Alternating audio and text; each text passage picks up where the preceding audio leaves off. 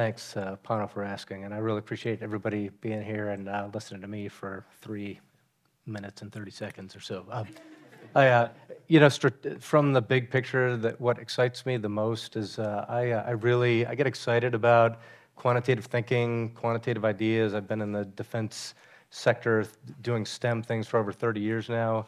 Uh, so I love quantitative thinking, but I love people even more.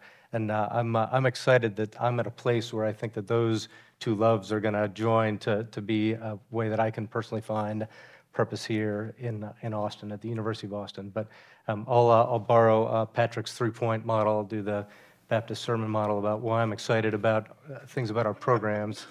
Um, so the first thing is uh, I'm excited that uh, we're going to build our STEM programs on top of uh, this powerful, cohesive, integrated intellectual foundations program.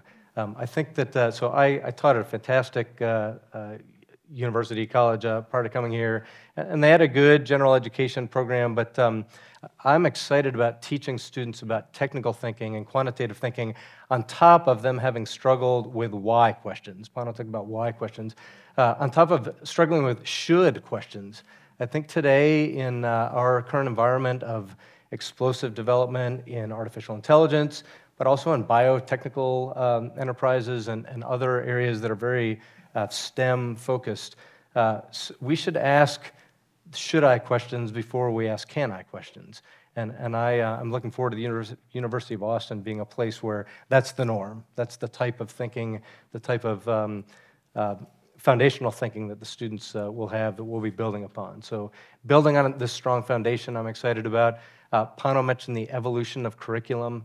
Uh, I, uh, again, I taught at a great school before I came here, but my lesson plan uh, that I would teach a calculus class with was the same lesson plan that my instructor in 1987 was using. And, and that's not horrible, but it's not great.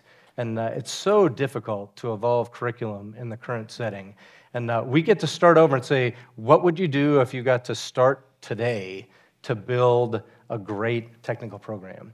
And so that does not mean we're going to be throwing out old material. It means that we're going to think about how would you do that uh, in 2023 and not in 1935.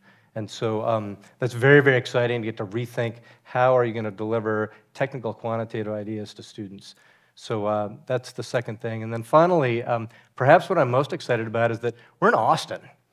I mean, if somebody, so I feel like getting to start a STEM program in Austin is like telling someone, um, we want you to start a, an Institute for Elven Studies, and we're going to headquarter you in Lothlorien. Like, like there's uh, Lord of the Rings, folks. So, I mean, come on. Uh, th- this is a place where there's energy, there's innovation.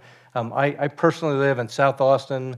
I live between Farm to Market Road, 1826 and 1626. That, that's kind of a broad swath. But farm to market idea, this notion of where production happens to where need is met.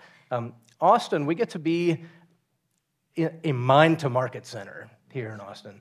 We get to bring sharp kids in, expose them to good ideas, and then we're here in Austin. We can connect them to points of need with their with their minds. And so, um, great intellectual foundation program, evolving the curriculum, and being in a mind to market hub uh, make me excited about STEM in Austin. Thank you.